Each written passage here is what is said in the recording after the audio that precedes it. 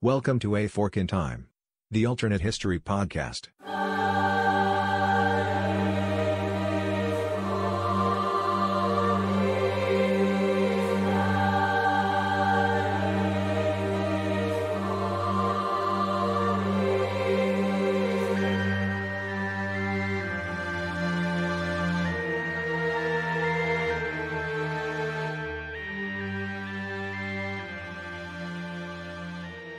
Welcome back to A Fork in Time, the Alternate History Podcast. Don sitting in the uh, the magical what if machine today, but we're not going to take it anywhere. We're going to ask somebody to climb in and join us. Today, I'm happy to be joined by Andrew Pierini. Andrew reached out, I guess, within the last couple of weeks, and we again encourage you to go to our website and find out how you can give us feedback and how you can reach out to us. You'll find us there at www.aforkintimepodcast.com. But Andrew actually sent me an email that I prize. The title of his email was "Thanks for your inspiration." And when I read the email, Andrew had said that he had uh, found our podcast uh, not that long ago and uh, enjoyed it. And by did, did, something by the way i think that is something of a monumental task. Andrew i'll talk about that here in a minute once i introduce you a little bit further but you actually went back and picked up the entire back catalog which i've done that with some other podcasts that i've run into but i know that we have about seven days worth of content in doing that so that was no mean feat. Uh, but andrew said that uh, a fork in time had caused him to go ahead and do something he'd been thinking about doing, which was start his own alternate history podcast. And as we talk about all the time here on the show, we believe that there's a, a, such thing as the alternate history community, and we want to serve that. And so I wanted to reach out to Andrew and ask him to be on the show, tell us a little bit about himself, tell us a little bit about the podcast, and hopefully find uh, some listeners for him who I know will be some of our listeners and grow the community. So, Andrew, thank you for joining me today. And this is the part where I shut up and let you tell the folks a little bit about yourself. Right. Uh, thank you, Don. Thank you for having me on. Uh, you know, like Don said, my name is Andrew Pierini. Uh, I host a podcast called Alternate History Class, uh, where I look at alternate history through the lens of a history class from another timeline.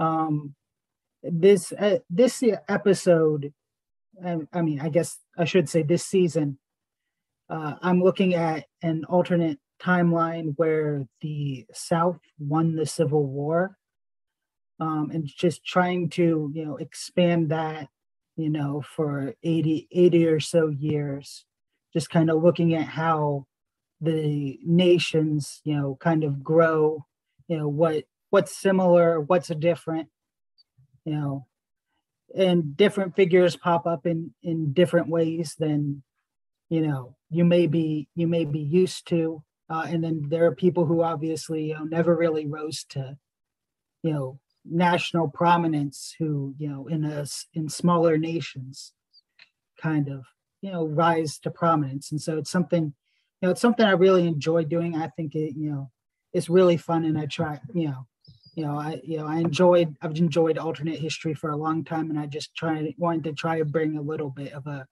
of a unique twist to it.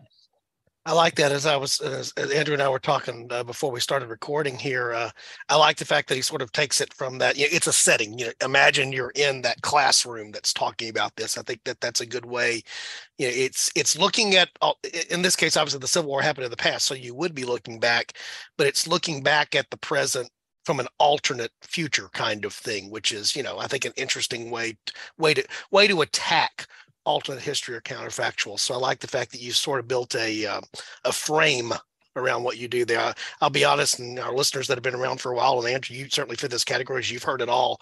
We don't always build as good a frame around what we do, probably as we should. So I have a tremendous amount of respect for somebody that's got a little bit more of a framework than sometimes what we evolve to here on a fork in time. And I think that that's a benefit for those who are able to do that. Sadly, I'm just not always able to do that because that's not the way my brain always wants to work.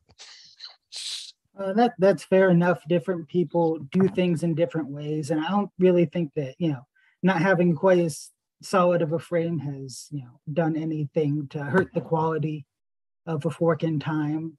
You know, I I come back to it every every single week. You know, so and I know I know plenty of other people do as well. So well, I appreciate that, Andrew. Yeah, in fact, it, it's interesting. We talk, you know, the team, particularly the team that's come to join, as most of our regular listeners will know. You know sometimes we spend a lot of time off podcast doing research because we need to.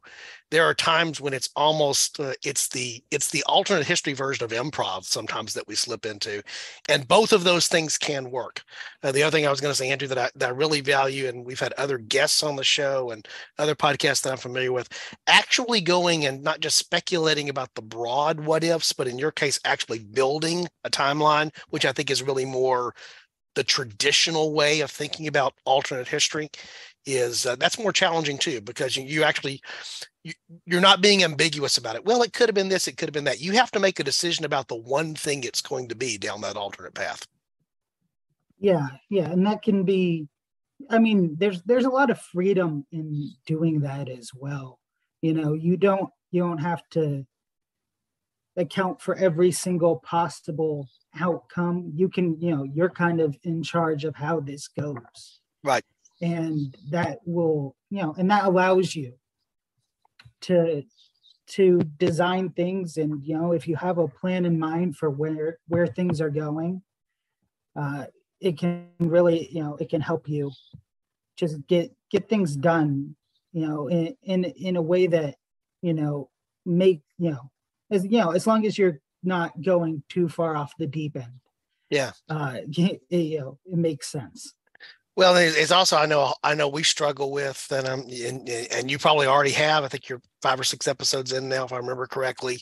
And uh, mm-hmm. but you know we, we, struggle with this all the time. Here is that uh, you know wh- where is the demarcation between the shallow, the medium, and the deep end? You know, it's easy to mm-hmm. that that that's a subjective thing and um, and, and you know tough thing to figure out there. One of the things we actually talk about very often as we're getting ready to do an episode, um, and you know, and because we bounce around, well, we bounce back to a lot of the same places. There's an island, for example, you know, where people talk a little bit talk English but talk a little bit funny that we go back frequently to, uh, because of mm-hmm. Alexis's uh, love of, of English history and being an Anglophile.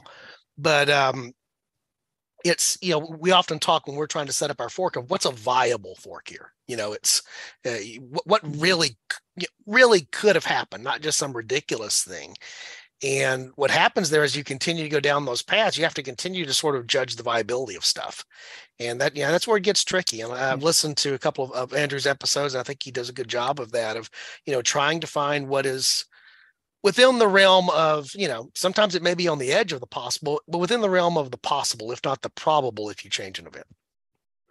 Yeah well, th- thank you don. You know i i do work hard on trying to make sure that you know thing i don't let things just go completely off the deep end one way one way or the other you know yeah. know, I don't want things to have look, you know, I don't want things to look in 1900 the same way that they do in in 1860 because you know people will have changed, times would have changed uh, right. for everybody in the in that world. I mean, in one of my more recent episodes, you know, I talk about uh, prohibition uh, in the South um, arising because of you know people viewing it as a you know as a way of repenting for a for a sin for something that they uh, i'm trying not to you know i'm talking around trying not to spoil yeah.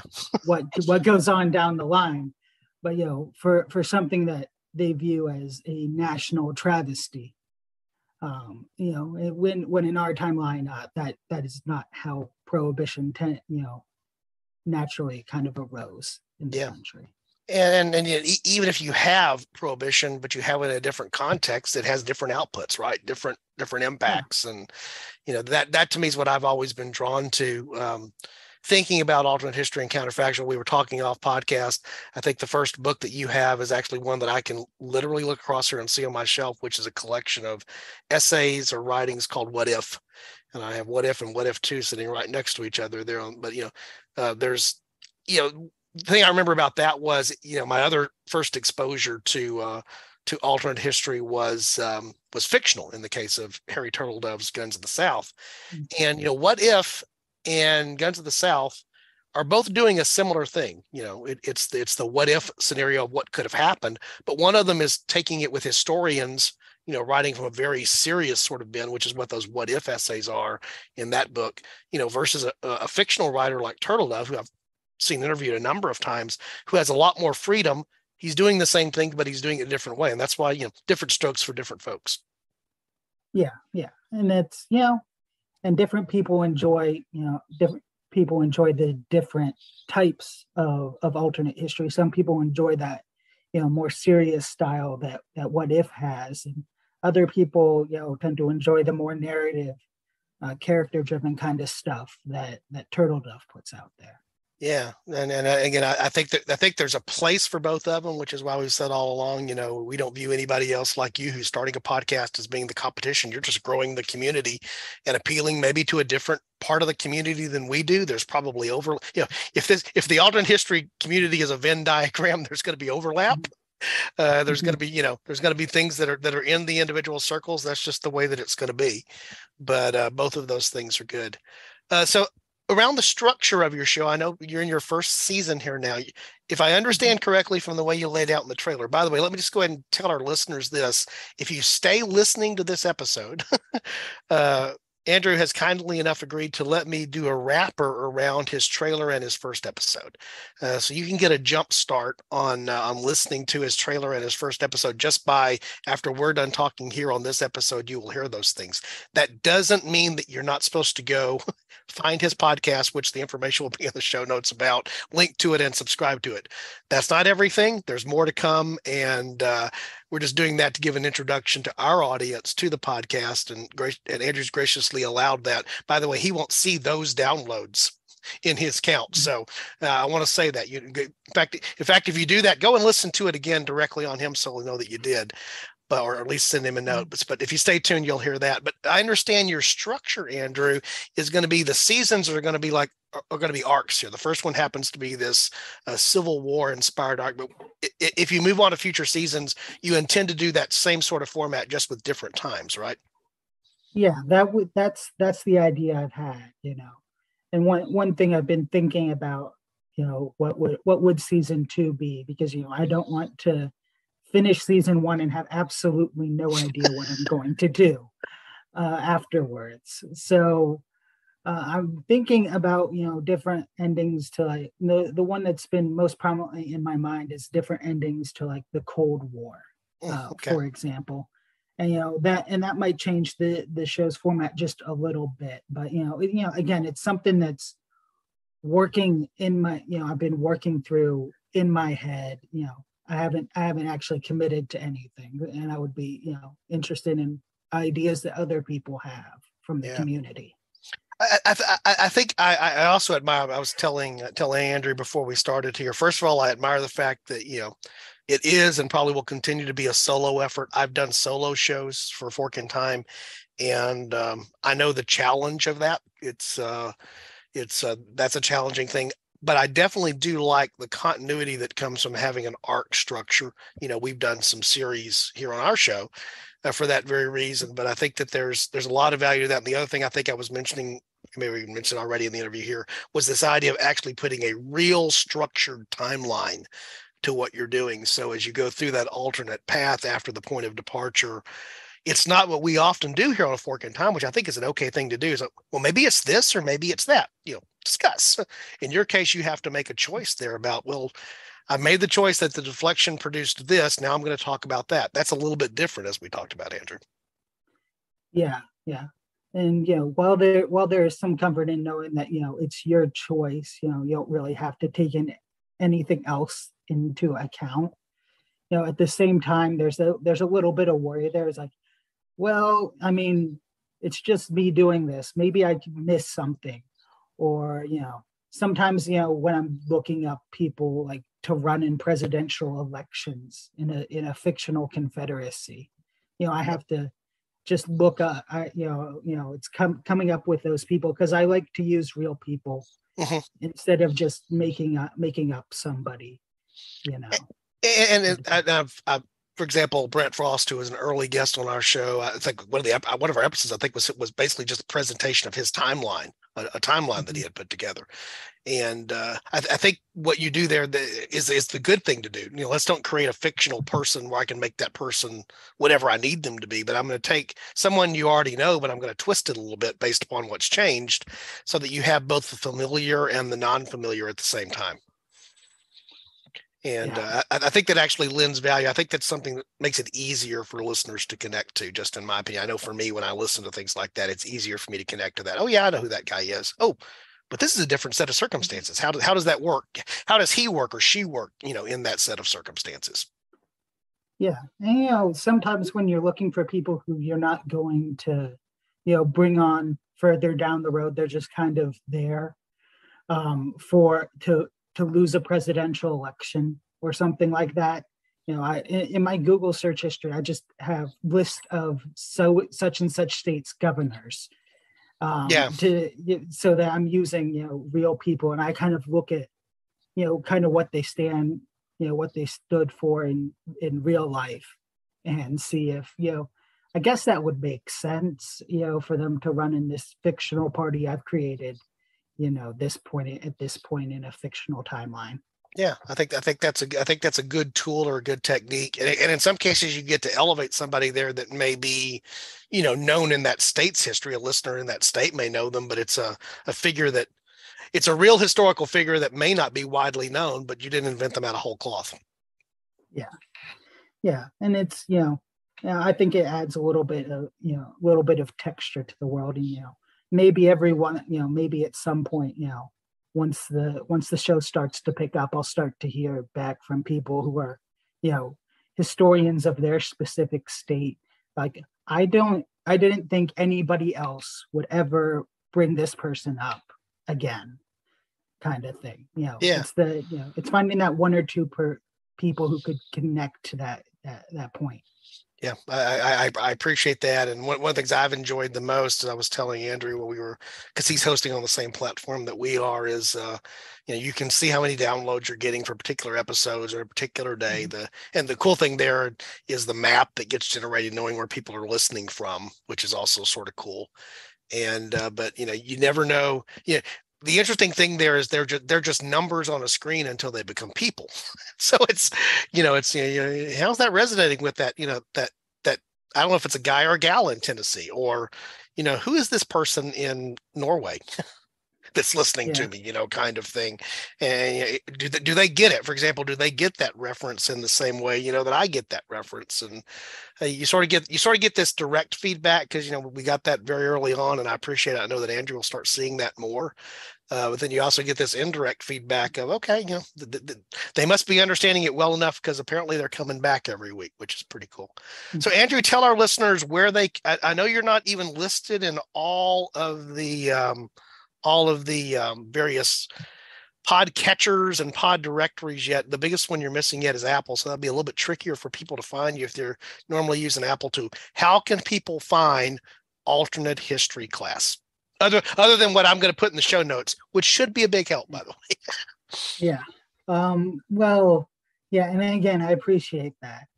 Um, the biggest platform that I'm on is is Spotify, and I'm on a, a lot of smaller, um, you know, podcasts. You know, uh, the the hosting platform we use, uh, just you know, it has a whole wide variety of things that I don't even remember. I mean, I remember, for example, that I'm on on Amazon Music, um, but I don't remember all the the small uh, small pro- podcast uh, catchers that I'm on.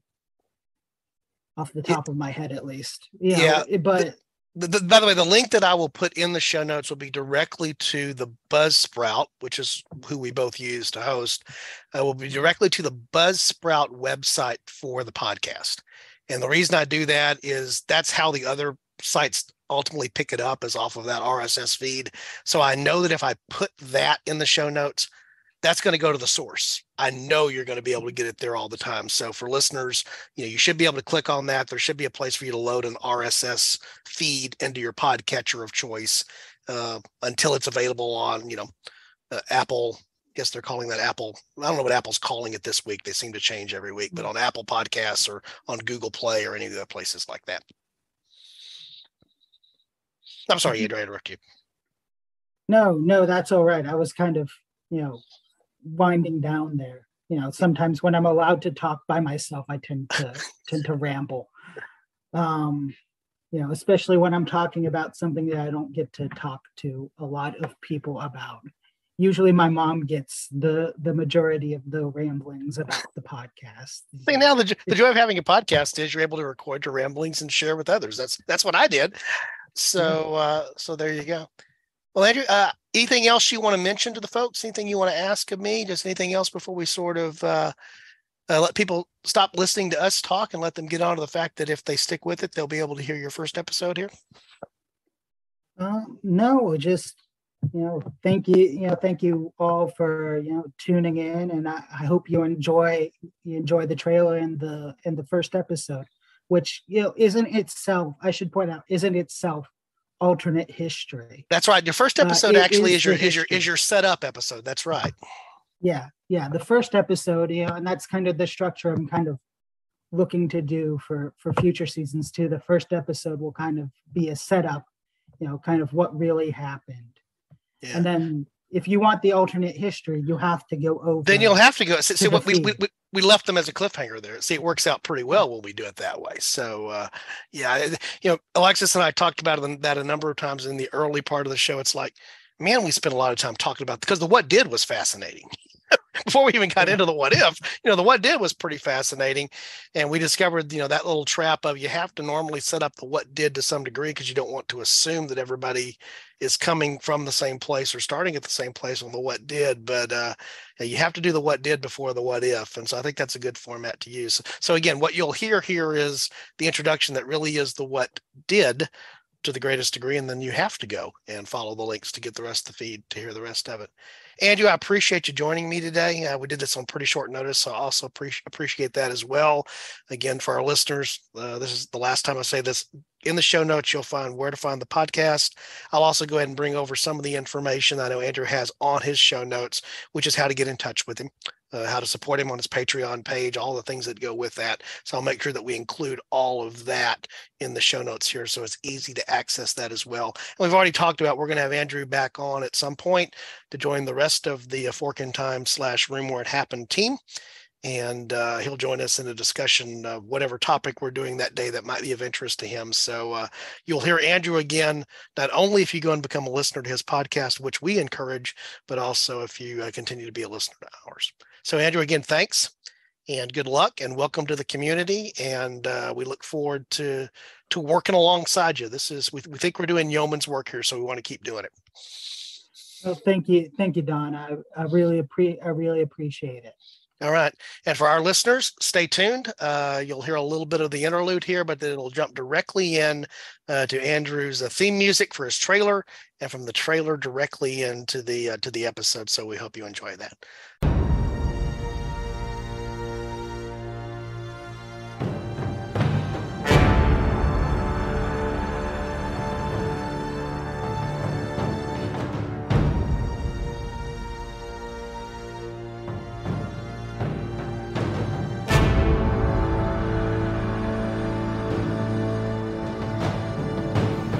Hello, and welcome to the Alternate History Class podcast, where I explore alternate history through the lens of a history class from another timeline.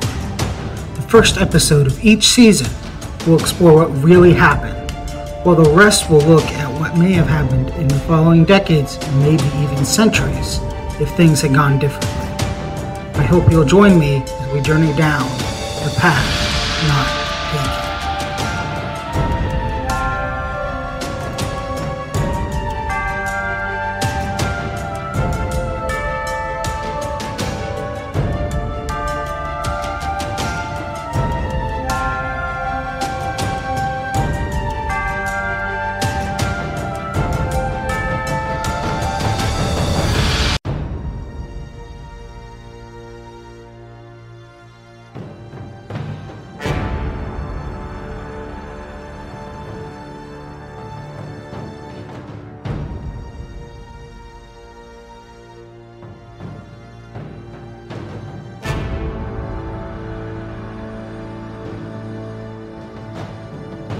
Hello, and welcome to the Alternate History Class podcast. My name's Andrew, and here I explore alternate history through the lens of a history class from another timeline.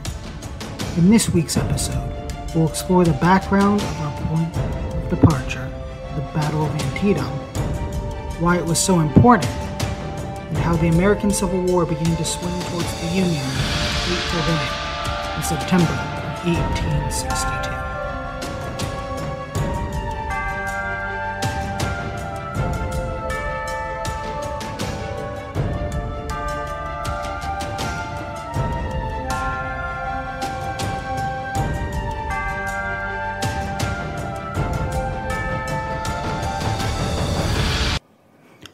Slavery is often called America's original sin, and for a good reason.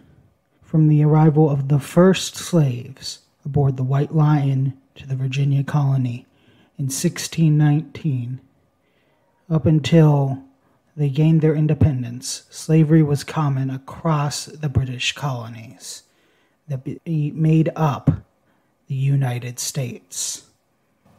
Slavery would also be a major divisive issue that drove much of politics for the first 80 or so years of the new nation's history. The South, being a very agricultural and rural part of the nation, used slavery much more than it was used in the North.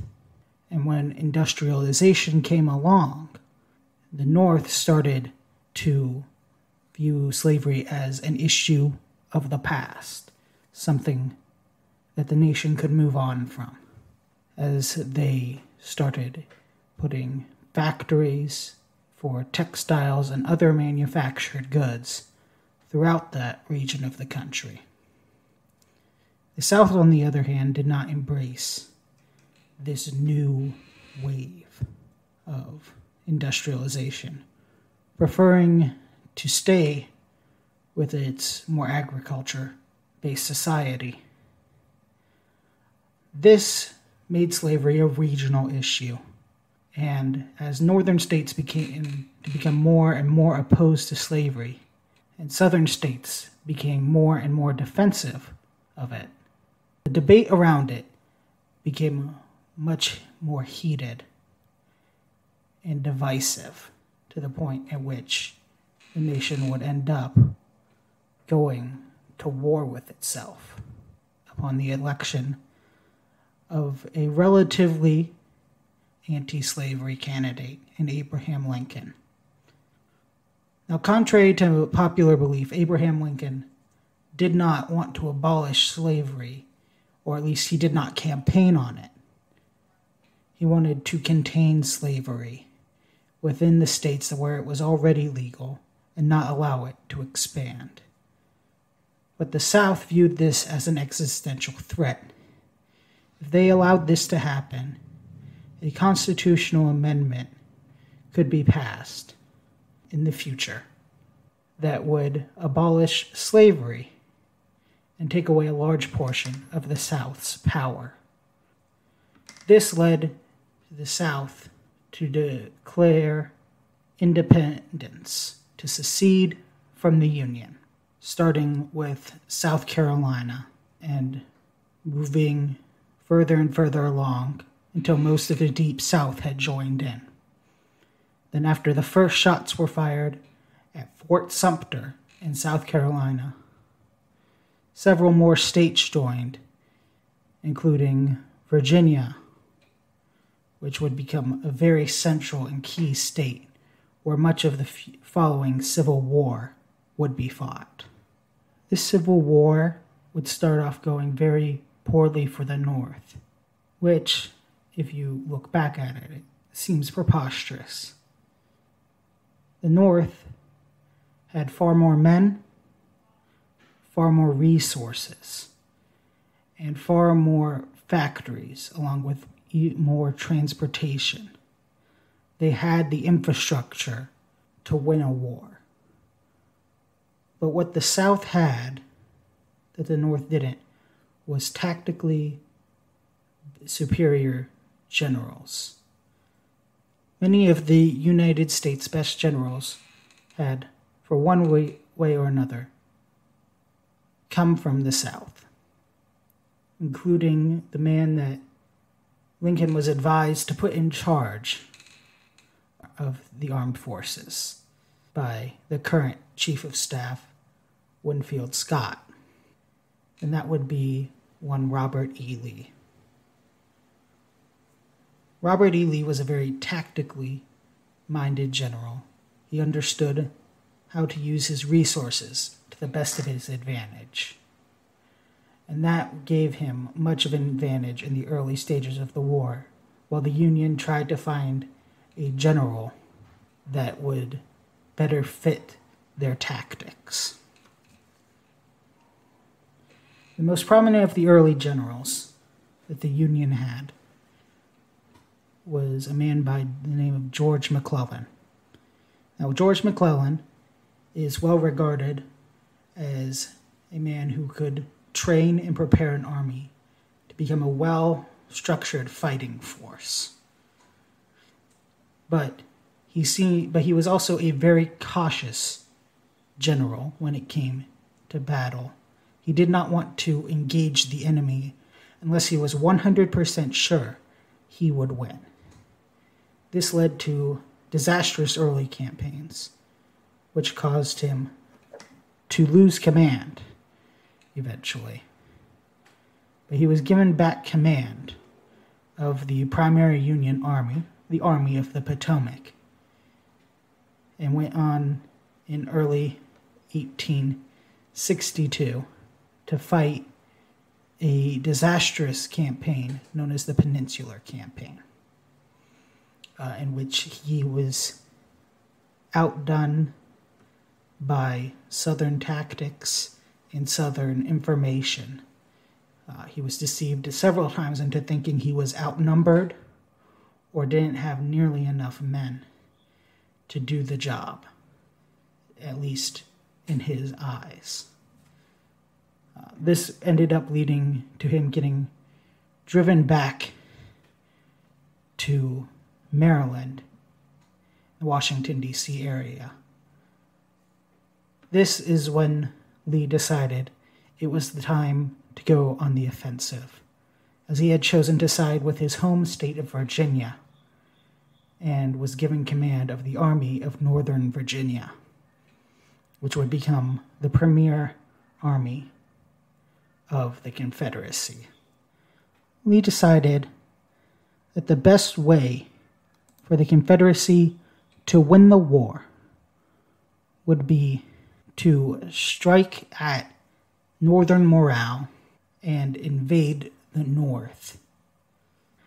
Lee was taking advantage of dissent among the ranks of the Union Army and issued Special Order 191, which detailed plans to push into the newly proclaimed state of West Virginia and Maryland, from which he would then could potentially stage an attack on the north. Now, as he as Lee started to send his men out through these orders to start to take towns,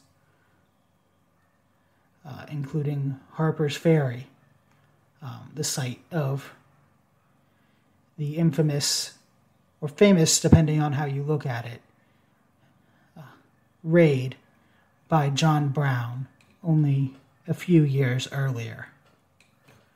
McClellan had gotten word that Lee was making moves and wanted to position his army better to be able to respond to it. After Lee's army abandoned their campsite around Frederick, Maryland, McClellan's army moved in. What happened next would change the course of the war.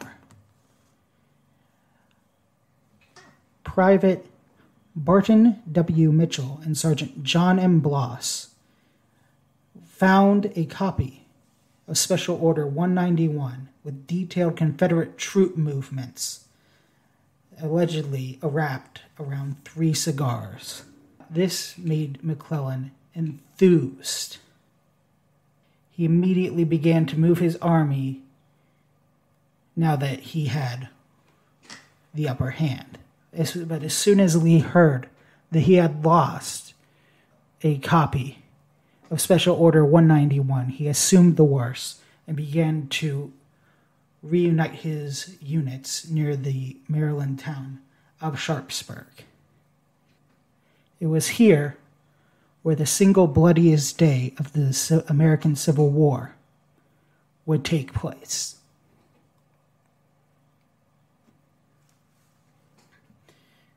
The battle itself, known as the Battle of Sharpsburg, but more commonly known as the Battle of Antietam, began at dawn on September 17th. As the fog lifted, Lee's troops, having been rushed together, were worn out, hungry, and many were sick. The battle would be incredibly bloody and incredibly brutal from the fighting on both sides.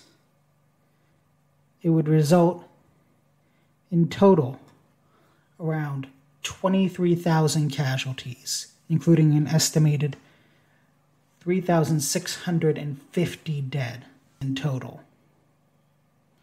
This is the single bloodiest day of the American Civil War.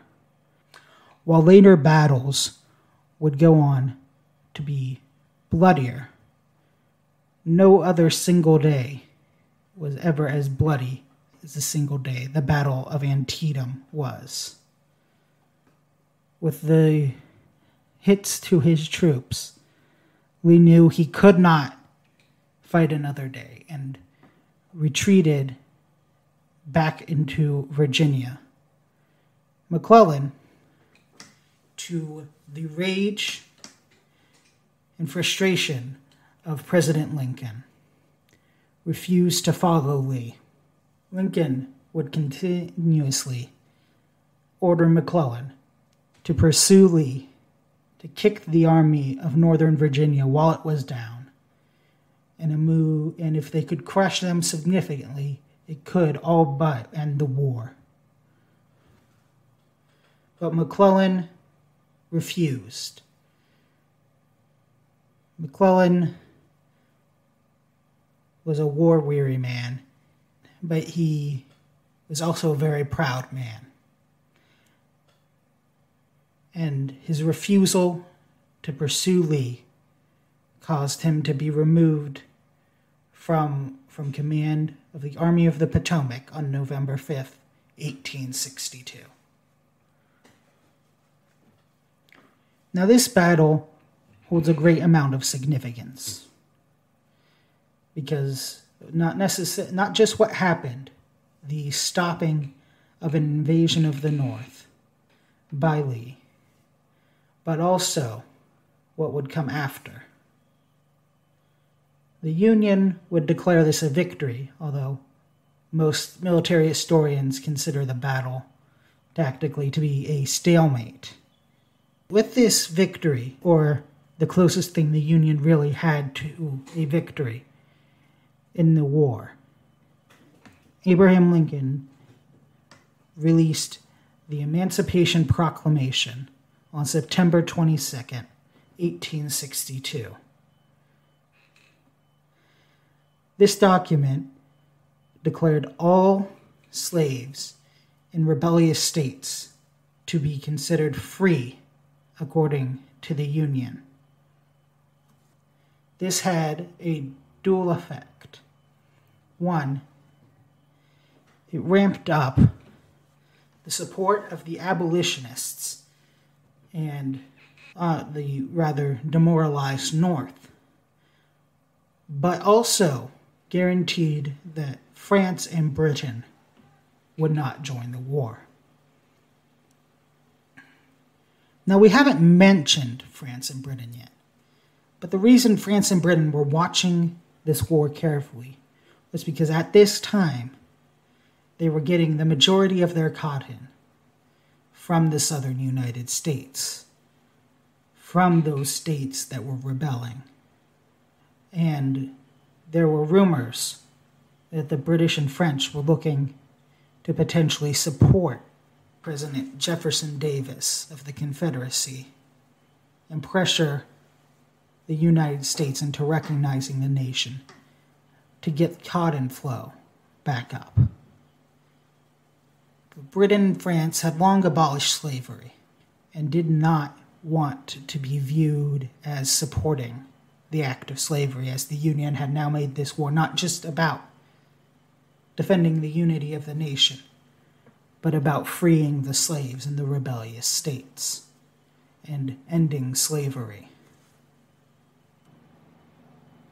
The British and French would turn to find other sources of cotton, and the United States would eventually find their general, a general willing to utilize the superior manpower of the North to his full advantage, one Ulysses S. Grant, who was given control of the Army of the Potomac after much success in the West, where he helped capture the town of Vicksburg, which essentially cut the Confederacy in two along the Mississippi River and won many, many of the Union's early battles. Grant's aggressiveness was labeled by his critics as butchery, but was exactly what Abraham Lincoln was looking for to, when it came to fighting Lee. Grant would continue to bash Lee over and over again until eventually Lee surrendered at Appomattox Courthouse in 1865, which essentially ended the American Civil War. There was some fighting that needed to be cleaned up, but the Union had won.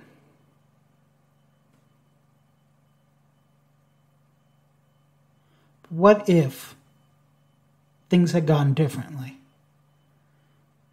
What if the person who dropped those cigars had made sure he had them in the order that they were wrapped in?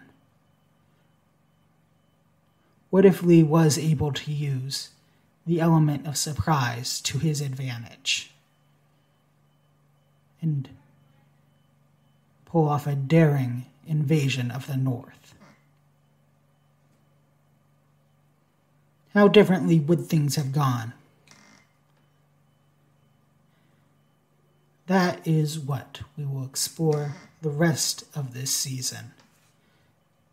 Because I believe that things would have gone very, very differently.